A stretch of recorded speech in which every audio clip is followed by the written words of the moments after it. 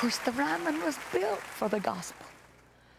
That's what it was built for. And when you come in this auditorium, there is a spirit in here, honey. If you can't sing in this building, you in deep trouble.